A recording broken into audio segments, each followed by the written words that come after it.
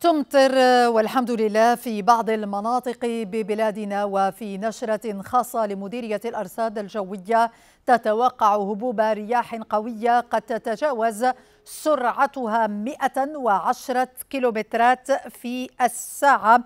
في المناطق التالية جرادة تاوريرت وجدة أنجاد ميدلت بولمان ثم قرسيف والراشدية.